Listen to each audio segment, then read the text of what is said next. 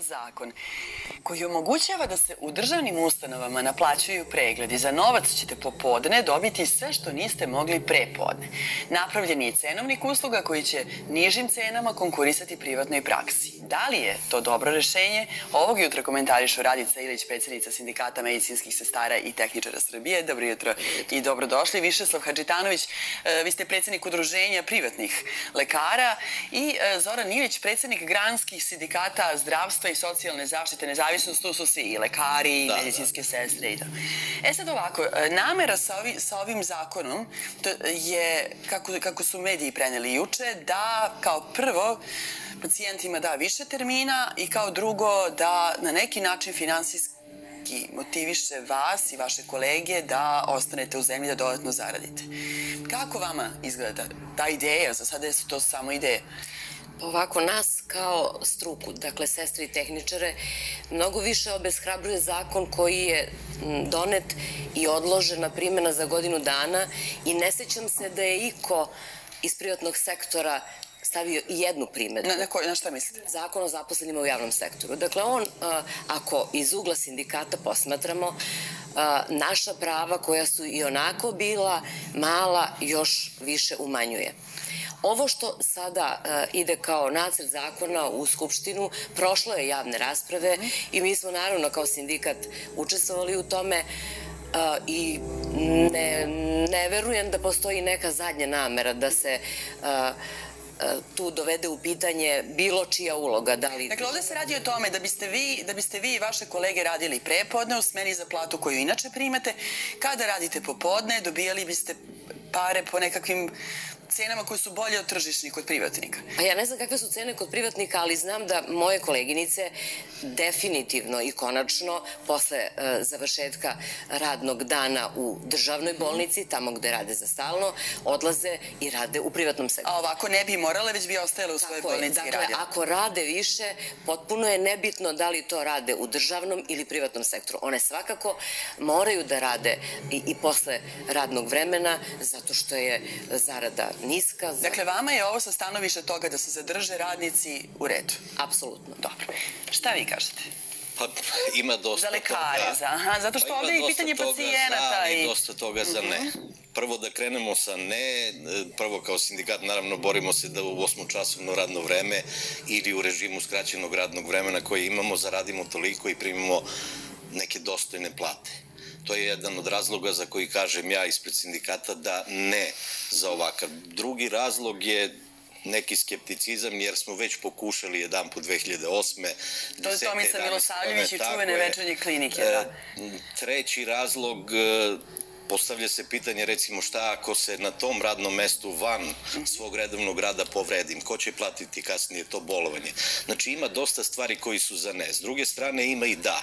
Plate jesu male, borimo se da budu veće i ajde polako kreće to Dodatnim povećanje. Dodatnim radom bi bile veće. E sad tim dodatnim radom ili dopunskim radom bi se to eventualno regulisano, mada to što kaže Ako meni garantuje da vas pitam da, paci, da doktori namerno ne bi počeli da rade sporije i sporije i sporije kako bi pa, nas pacijente ste ubeđivali da dođemo e, popodne i da plaćamo. Od nove godine verovatno, najverovatnije u stvari, 50 bolnica ulazi u sistem diagnostičkih srodnih metoda koji će okrenuti polako sistem prema... Šta to znači? To znači da ćemo uh, ostaviti onu staru praksu zadržavanja u bolnicama pacijenata i to i morat ćemo da se potrudimo da to što, radimo što brže, bolje, da budete, budete efikasnije. Da se tako bolje će se tako plaćati.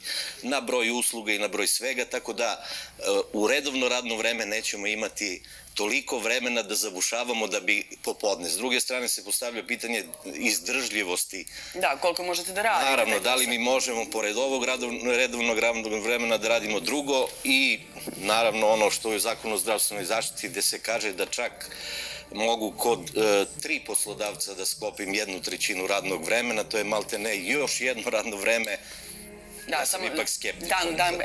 Evo ovako, gospodine Hačitanović, ja, ja sam se setila da smo mi o sličnoj temi, o tim večernjim klinikama pričali pred tačno, koja je to godina bila? 2008. ja mislim. Pa tako, pre 10 godina. Pre 10 godina je Tomica Milosavljević uveo taj noćni rad uh, po bolnicama. To nije dugo, nije dugo ostalo. Pa gledajte, a, svaki menadžer, gledajte, ja sam privatan lekar i ovaj, neću da komentarišem šta je menadžment u državnom zdravstvu hteo time da kaže ali kao pacijent ima prava da, ili potencijalni, odnosno građani Srbije koji uplaćaju to zdravstveno osiguranje i tako dalje, ima prava da komentariše zakon i tako hoću da ga komentariše. Inače, svaki vlasnik, tamo je vlasnik država, ovde je privatnik i svaki menadžer organizuje posao na najbolji mogući način. E sada, a, ako se dozvoljava rad državnim doktorima da rade u privatnom sektoru popodne, što ne bi i na svojim klinikama. Za mene je to logično. E sad, tu je sindikat koji će da štiti prava lekara. A, ja sam sportista i to će naši gledalci dobro da razumeju. Igrate utakmicu, imate e, prvo i drugo polovreme, znači to je 8 časova radi, znači radiš ovaj, 4 sata, imaš pauzu za ručak i 4 sata radiš. Treba da igraš treće polovreme. Pa kakav je tvoj efekt tada igre? Pa daleko slabiji. Dobro, znači, ja kao pacijent... Ali i ovako rade, ne, ne, ovako okay, rade pa ja kažem, bilo gde, da li radili u privatnom ili državno, treće poluvreme je i suficijentno, odnosno uh, taj uh, kvalitet rada ne može da zadovolji kao prvo i drugo poluvreme. Zašto?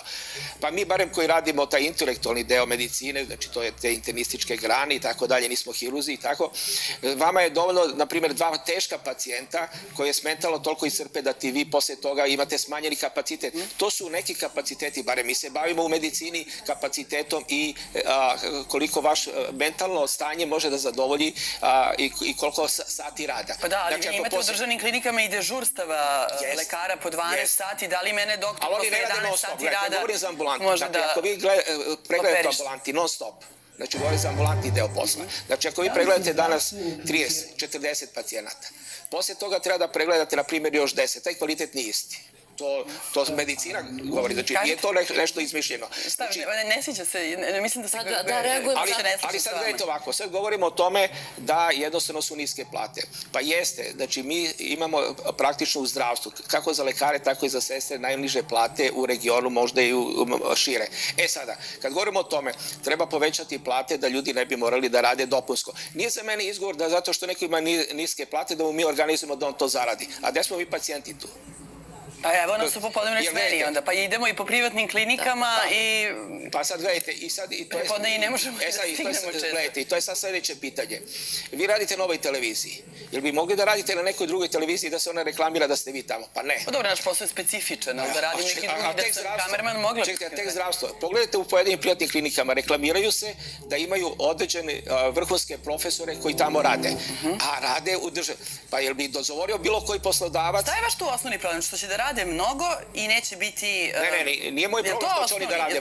Ono što ne, moje, moje pravo da radim i 24 sata ali ja kao organizator posla, kao menadžment, ili mi smo, ja sam sa ljudima iz Fona osnovao menadžment u zdravstvu. Je li vama možda problem, pošto nisam shvatila to, je li vama možda problem da se državne klinike ne pretvore u konkurenciju privatnih? Ne, tamo posla, sad... konkurencija je neophodna. Pa kako bi igrali utakmicu, ne možeš sam sa sobom. Da, znači, izvolite. Ako, ajde, ja, ja, samo da, da završim. Samo znači, ako da privatni i državni sektor između sebe kao kompetentni, ali istovremeno konkurentni, ti gledaš da li on bolje radi, ti gledaš da usavršiš svoj posao. I to je utakmica i to tako treba da bude. Ali suština suština je ovde, da li igrač može da igra tri poluvremena? Da li možete da igrate tri poluvremena? Ovako, ja, ja tačno ne razumem, uh, uh, ne razumem poentu i ne razumem šta je nastalo kao problem. Dakle, pričam o sestrama i tehničarima. Oni i sada rade prvo poluvreme u državnoj, a drugo i treće i ne znam koliko poluvremena odlaze u privatno. I to do sada nije bio problem.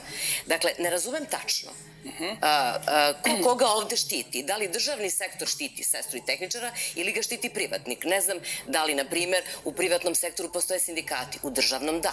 I ovaj sindikat vrlo ozbiljno kritikuje kada nešto nije dobro i vrlo ozbiljno i temeljno radi na poboljšanju uslova. Dakle, nas ima malo, radimo mnogo i radili smo i ranije u privatnom, pa se nije... Pa to nije u redu što radite mnogo.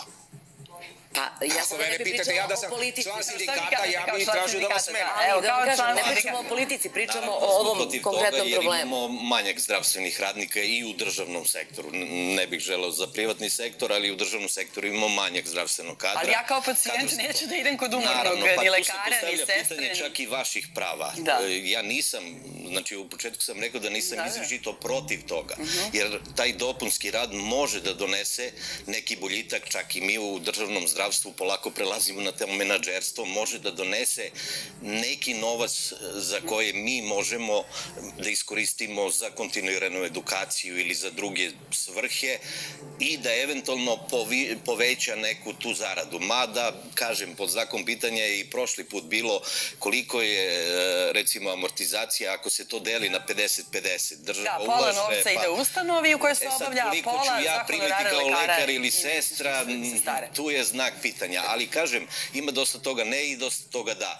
Iz, e, zaštita prava pacijenata kažu da trebam da dobijem da, ali opet, evo, i da li će pacijenti hteti da plaćaju nešto naravno, što im je do moramo, juče bilo? Ali moramo da razmijemo famu i da je čak i zdravstvo besplatno. Ne postoji besplatno zdravstva, da. mora da se plaća rođenjem. Ja stičem pravo na zdravstvenu zaštitu, ali kasnije moram malo, e sad, taj procenat, ranije smo imali 13,8, sad imamo 11,8, nije trebalo to da se uradi, treba više zdravstvenog dinara, pa bi onda bili možda zadovoljni i mi u državnom i u privatnom sektoru. A gledajte, ovaj, e, e, stvar je vrlo prosta. Menadžer u državnom zdravstvu je rešio da to organizuje, ja nemam ništa protiv pošto radi u privatno što ne bi radili u, u svojim kućama, to je sve u redu. Ja samo postavljam sa pitanje pacijenta, pacijent će da odluči na terenu kao i prošli put. Naravno. On će da se opredili da li će da ide popodne kod lekara kod koga je išao prepodne pa nije stigao pa će ići popodne ili će ići u privatno. To je normalna kompeticija. Ali ako govorimo sa stanovišta a, kvaliteta rada, vi ne možete da me ubedite a, da je to isti kvalitet posle 10 sati rada, to je broj 1. Pod broj 2, a, sigurno da lekarima i sestrama treba u normalnom radu povećati plate, jer su, što bi rekli, jako uh, u celom regionu male plate. Pa pogledajte, nijedan izbeglica doktor nije ostao ovde, otišao je dalje. Znači, uh, nije Ali našta... vi najbolje znate, koje, da vas pitam, imate li podatak koje je prosečno radno vreme srpskog doktora danas? Koliko on nedeljno sati radi ili koliko ima radnih dana? Pa, bilo... Je to tačno 8 sati ili Pa gledajte, zavisi ko, ovaj, ko je na kom mestu, koja je specijalnost i da li ima toliko pacijente. Da, ja znam da, na primjer, pojedini lekari u domovima zdravlja imaju po 50 pacijenata. Dobro. I da posle toga sigurno da ne može da ima isti kvalitet rada i tako dalje. Ali sada, sledeća je stvar, što mi imamo u državnom zdravstvu, što je pitanje za ministarstvo i tako dalje, odliv kadrova. I to ogroman. Posebno se stara. Ja po, pa, pitanje... ovo je upravo namera da ih zadrže, tako je saopšta, tako Kako su rekli. Dobro, oni imaju pravo na svoje mišljenje, moje mišljenje je da na taj način neće zadržati. Ajde, vidjet ćemo. Ja moram da kažem da smo mi zvali i predstavnike ministarstva juče, ali nismo dobili sagovornika da nam pojasne. Pa ćemo vidjeti kada, kada, kada novine pišu da bi to trebalo da bude do kraja ove godine, taj zakon, ali nema ovog predloga u zakonu, već će to biti rešeno Verovatno pravilnikom, da. postoji jedan pravilnik pa gledajte, iz desete ovo, ovo je iznuđeno. Ali... Znači, ovo je iznuđen način da se zadrži, ali me misli da to nije pravi način, da postoje drugi, daleko bolji načini koji mogu da zadrže lekare ovde i sestre da ne odlaze iz ove zemlje. Da li odlaze i kod vas u privatnoj praksi lekari? I sestre? Pa uglavnom ne. Ali gledajte, ako bi me neko, čekajte, samo još ovo da kažem. Ako je neko nezadovoljan platom u državnom sektoru, vi imate alternativu u privatnom sektoru. Da. Ili otvori privatnu kliniku, ili radi za nekoga. Kad bi to bilo lako da možemo da otvorimo privatnu kliniku. Znate kako, da ta migracija, 90% zemalja postoji migracije i mi nećemo bilo čime u ovom trenutku sprečiti odliv kadru. Možemo samo da ublažimo, ali... Mnogo vam hvala svima što ste bili gosti uh, jutarnjeg programa.